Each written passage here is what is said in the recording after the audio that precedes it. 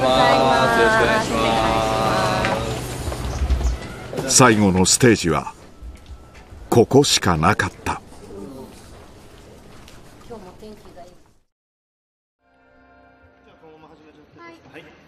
はい、じゃあゲネプロスタートします。一応じゃあ前のえっ、ー、と転換 V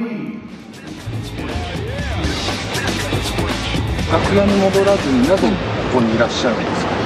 なぜやはりゲストさんを迎えるにあたりきちんとリハーサルを見てで合流するっていうのは、まあ、礼儀かなと。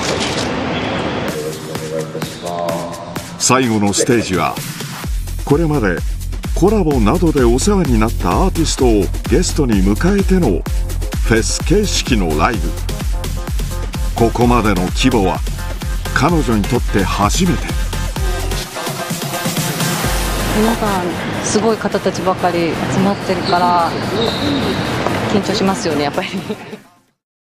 このイベントに参加してよかったなって思ってもらえるようにちょっと頑張りたいなって思います。皆さんもなんか本当に楽しんでいただけたらなと思います。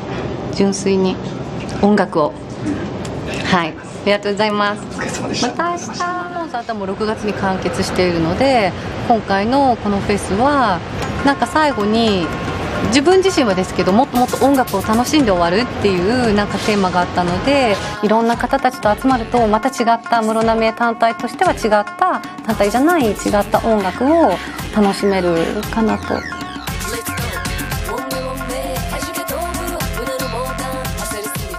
平井さんの超絶センスのイ・ウォンミョンミ聞いてあどうしようかな私みたいな。なんか歌番組見てる感じ。本当に。私にとって沖縄はもう全ての始まり全てが生まれた場所。なんか全てを決断した場所。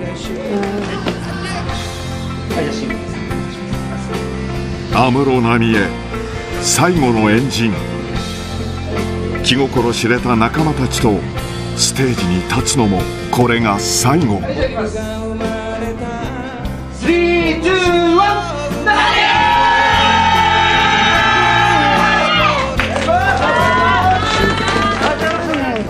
はすごいぐっすり寝てツアーには参加できたんですけどななんですかね。すごい分かりやすく緊張してる感はなかったんですけど多分無意識になんかなんか近づいてきてるんだなっていうのはあったのかもしれないですね。割と朝方まで起きちゃってたのは寝れなくて。